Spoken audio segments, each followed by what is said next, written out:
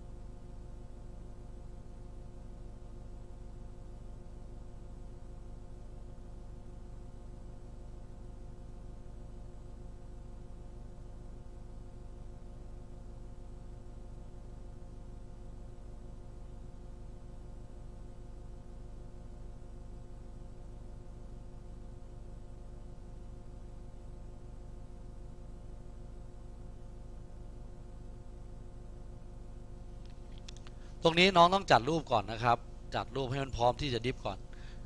ไอตัวรูทเราเจอไปแล้วหลายครั้ง เราสามารถปรับเป็น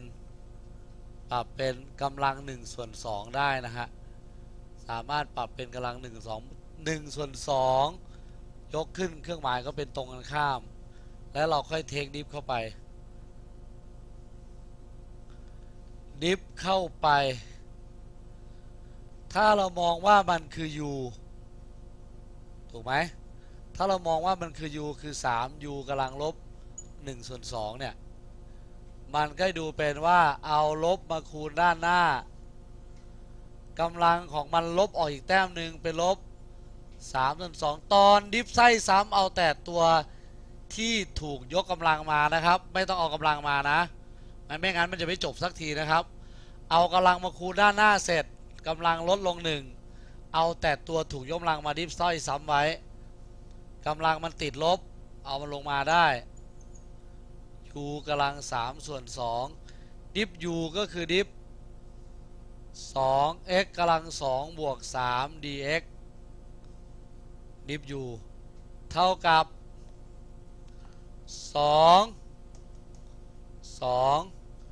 2 u ก็คือ 2x กำลัง 2 บวก 3กำลัง 3 ส่วน 2 ดิฟตรงนี้ได้ 4x ดิฟตรงนี้ได้ 3 นะครับ เอาเอ้ยตัวทีดิฟ 3 ได้ 0 4x มาคูณกับ 3 เป็นลบ 10 12x ตัดได้ไหมตัดได้เป็นลบ 6 ส่วนด้วยกลางปีกออกมาใช่ไหมครับ 2 ตัดเป็น 6x กำลังสองลากที่2ของ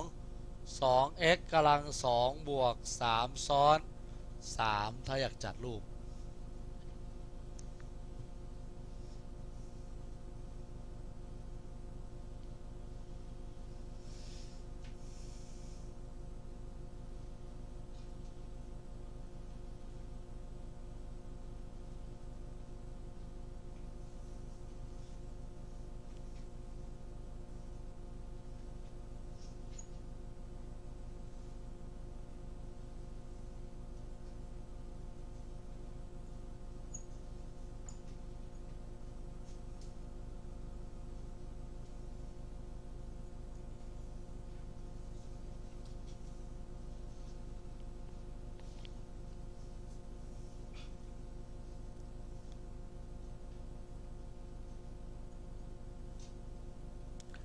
ถ้าวางให้ว่าโจทย์ข้อนี้มี x กับมี y มาคูณกัน เราคงจัดรูปไม่ได้ เราจัดรูปนี้ไม่ออกแน่ ถ้าเราไม่เทคดิฟทั้งหมด แล้วค่อยมาดึงตัวแปรทีหลัง เทคดิฟเข้าไป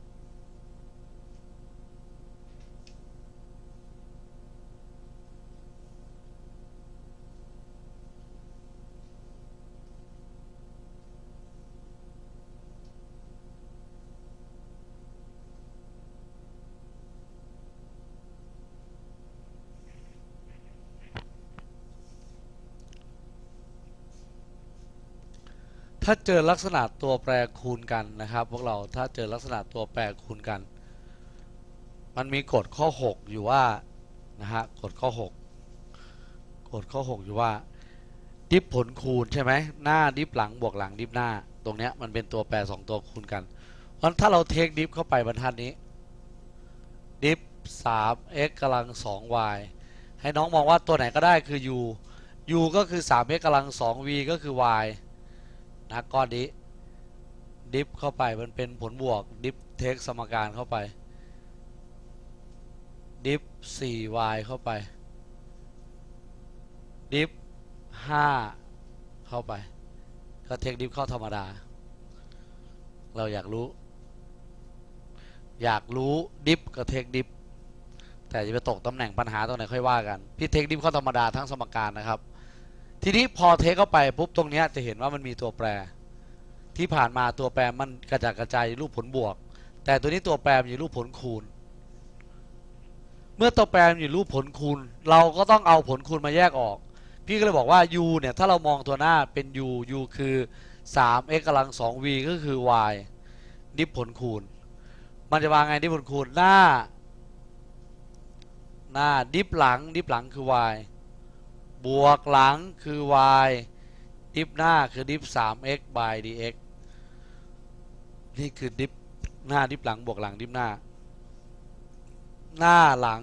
หน้าดิฟหลังบวกหลังดิฟหน้าหน้า หน้าคือเรามองเป็น 3x กำลังสองหลังคือ y หน้าดิฟหลังบวกหลังดิฟหน้าวางวางไว้ก่อน หน้าดิฟหลังบวกหลังดิฟหน้าหน้าดิฟหลังบวกหลังดิฟหน้าหน้าดิฟหลังบวกหลังดิฟหน้าหน้าดิฟหลังบวกหลังดิฟหน้า แต่ดิฟ cx กดตรงนี้ได้เท่าไหร่ดิฟ 3x ได้3 dx by dx เป็น 1 นะครับดิฟตรงนี้มันตัดบ่ได้นะ4 dy by dx มันจะตัดเป็น dx by dx เป็น 1 ไม่ได้ มันจะเหลือเป็นดึงข้างที่ออกมานะครับ จะเหลือ dy by dx ตรงนี้เป็นสัญลักษณ์ที่เขาถามพอดี จะตัดไม่ได้ ดิฟค่าคงที่ได้ 0 ดิฟตัวเลขได้ 0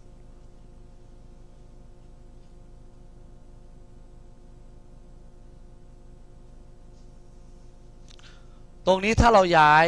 นะฮะพี่ย้ายตรงนี้มันมันมันจบแล้วตัวนี้จบแล้ว เราก็ย้ายไปหากันได้ เพราะว่าตัวนี้ก็ดีวายไปเด็กเหมือนกัน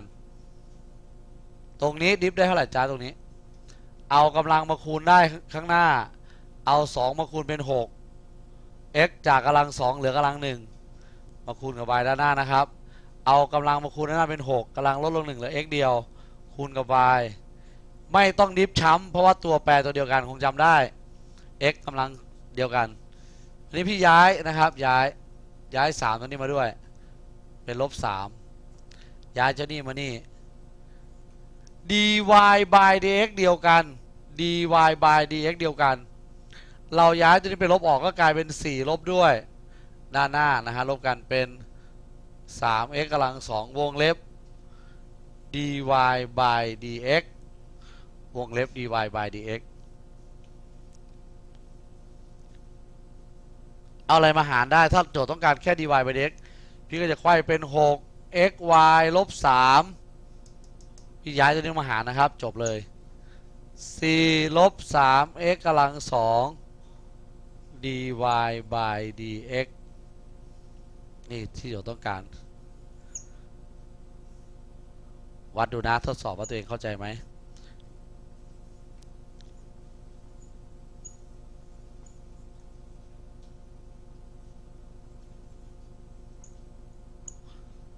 dy by dx ทำโจทย์ซ้ำเดิม เปลี่ยนตัวเลขให้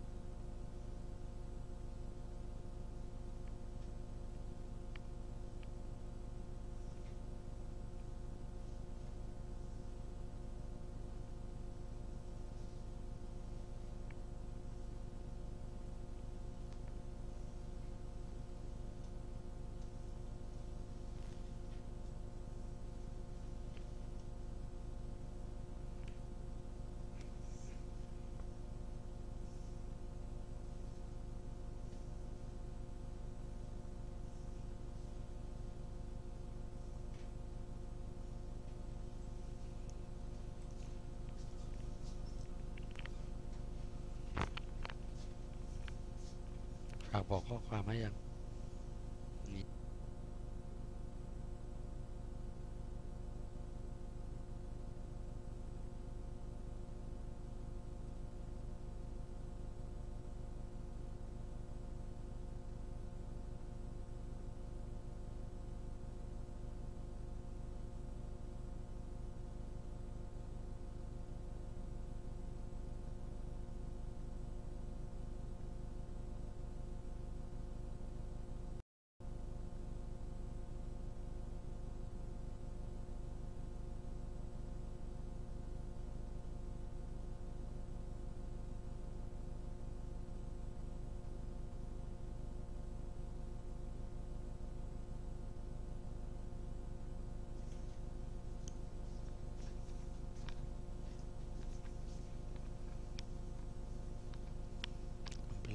ค่อยลบ ดิฟค่อยลบ ของคูณ อ่า ลดกำลังลงค่อยดิฟซ้ำกำลังมาคูณเป็น 4 มี 4y ด้วยแล้วก็ dy อีกครั้งหนึ่ง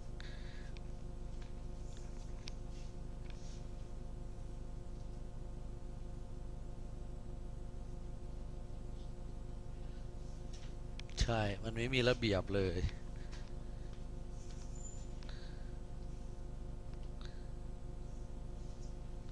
มาดิฟหลังด้วยมาดิฟ y กำลังสองนี่กำลังมันหายไปไหนนี่ มาดูจังหวะนี้นะครับ กฎข้อที่ 4 ของการดิฟส่วนใหญ่ถ้าที่พี่เดินดูเมื่อกี้ยังยังไม่คมนะครับ ยังไม่ยังไม่แม่น อุจุอุจุอยู่เหมือนจะหลุดแต่ยังไม่หลุดจากความเข้าใจเอาใหม่ดูตรงนี้กันนิดนึง ดูดูดูนิดหนึ่งว่ามันมันมีจุดบอดอยู่ตำแหน่งเดียวเนี่ย ถ้าเราเทคดิฟเข้าตรงนี้นะฮะเราเทคดิฟเข้าตรงนี้ 3 x y กำลัง2ใช่ไหมครับตรงนี้น้องก็ดิฟเข้าตรงนี้ด้วยก็เป็นเอากำลัง3ดิฟเอา 2y กำลัง2ด้วย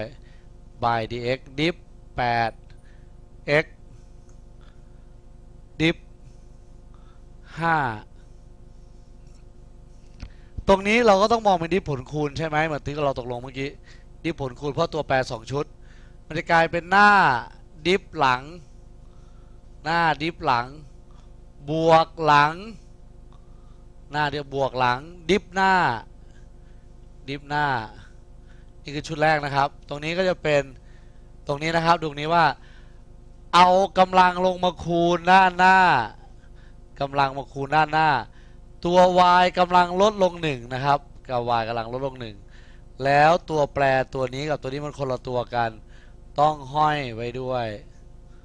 ต้องห้อยหลังเอาตัวตรงนี้มาดิฟห้อยไว้ เท่ากับ8ลบ0ใช่ไหมข้างนี้8ลบ0ตำแหน่งนี้ไม่ค่อยผิดกัน ตรงนี้นะครับ ลดกำลังลงข้างหน้าแล้วตัวแปรต้องยังเหลืออยู่นะหายไม่ได้ ตรงนี้ด้วยครับนี่ ตัวแปรลดตรงนี้ข้างหน้าพี่บอกแล้วว่าจบแล้วตรงนี้มันจบแล้ว เอากำลังมาคูณหน้าหน้าโอเคเป็น 9 x y จากกำลัง 3 ลดลง 1 เหลือ 2 แต่เราต้องดิฟห้อย ดิฟโหน ดิฟติดไว้ด้วยอีกตัวหนึ่ง dy by dx y กำลัง 3 dx by dx ก็เป็น 3 dx เป็น 3y นะฮะ dx by dx หายนะครับ เหลือแค่3ตรงนี้ก็เป็น 4y dy by dx เท่ากับ 8 โจทย์ต้องการ dy dx เราก็ย้ายไปรวมกันนะครับ ดึงตัวร่วมเป็น 9 xy กำลัง 2 บวก 4y dy by dx เราก็ย้าย 8 ลบด้วย 3 y กำลัง 3 ไป ย้ายนู่นไปนู่นมัน dy by dx ย้ายก้อนนี้ลงไปหาร 8 ลบด้วย 3y กำลัง 3 ส่วนด้วย 9x y กำลัง 2 บวก 4y ย้ายไป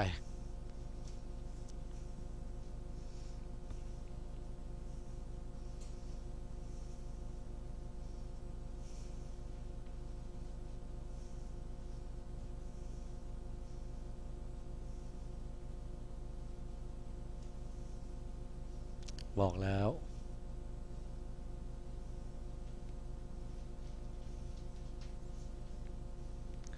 มาเรียนกับน้องก็ขึมดีเหมือนกันเนาะ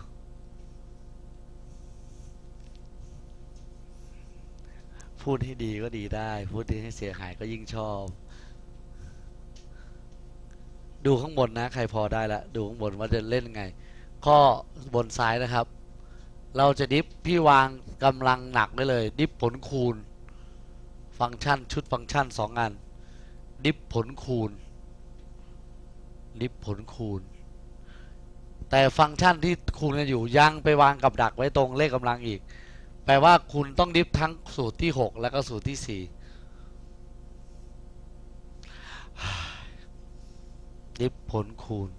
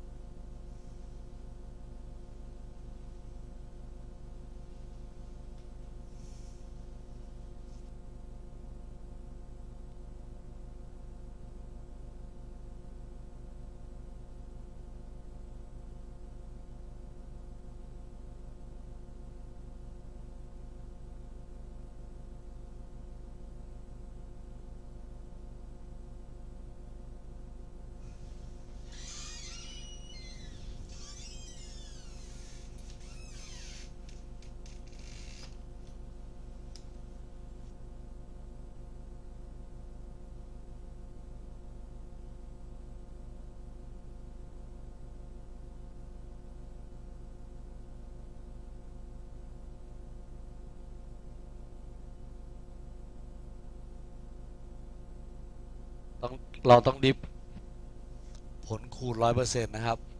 พยายามลดรูปตัวแปรลงก็ได้ จะดูไม่น่าเบื่อ u กำลังสี่ v กำลังสามนี่ก็ได้ เพราะเวลาเราเทคดิฟเข้าจริง มันก็ต้องเป็นสองก้อนอยู่แล้วใช่ไหม หน้า ดิฟหลัง หน้าดิฟหลังบวกหลัง ดิฟหน้า หน้าดิฟหลังบวกหลังดิฟหน้าวางเข้าไปได้อยู่แล้ว หน้าดิฟหลังบวกหลังดิฟหน้าหน้าดิฟหลังบวกหลังดิฟหน้าหน้าดิฟหลังบวกหลังดิฟหน้า ตัวที่อยู่หน้าดิฟนะครับ ถือว่าไม่ต้องทำอะไรนะ u กำลังสี่เอากำลังมาคูณด้านหน้ากำลังลดลงหนึ่งเอากำลังคูณด้านหน้ากำลังแต่ต้องอะไรครับสัญญากันแล้ว ตัวแปรไม่เหมือนกันน้องต้องห้อย ต้องโหนอีกจังหวะหนึ่งด้วยนะครับ เอาตัวนี้มาดิฟครั้งหนึ่งถ้าทำความเข้าใจตัวนี้ได้นะครับ ถือว่าความยุ่งยากเรื่องนี้จบแล้ว ตัวนี้ไม่เกี่ยวอยู่ด้านหน้าดิฟตรงนี้เราดิฟเอากำลังมาคูณด้านหน้ากำลังลดลงแต้มหนึ่งตัวที่ถูกยกกำลังเอามาดิฟซ้ำบวก v กำลังสามตัวอยู่ด้านหน้าไม่เกี่ยว ลดกำลังลงเอา 4 มาคูณเอา u ลดกำลังเหลือ 3 ต้อง du by dx ซ้ำเอามาวางข้างนอกก็ได้นะครับ ได้เอากลับเข้าไป u คือ 2x กำลัง 2 บวก 1 u du เทคเข้าไป du ก็เป็น d 2x กำลัง 2 บวก 1 ดิฟ 2x กำลัง 2 เป็น 4x ดิฟ 1 ได้ 0 จบไป v เท่ากับ 4 ลบ 3x ยกมาดิฟ v by dx ก็เป็น d 4ลบ 3x by dx ดิฟ4ได้ 0 ดิฟลบ 3x ได้ลบ3นะฮะ แล้วเราค่อยวางกลับเข้าไปเพื่อที่จะสิ้นสุดมัน dy by dx เท่ากับ u ตามสูตรเลยนะครับ u 3จากนี้นะ u 2 x กำลัง 2 บวก 1กำลัง 4v 4ลบ 3x กำลังเหลือ 2 dv dv ก็คือลบ 3 บวก บวก v กำลัง 3 คือ 4 ลบ 3x กำลัง 3 คูณกับ 4u u ก็คือ 2x กำลัง 2 บวก 1 du คืออะไร du du คือ du du ตัวท้าย 4x โอ้ พระเจ้า ไม่สวยเลย จัดรูปใหม่ไหม จะได้สวย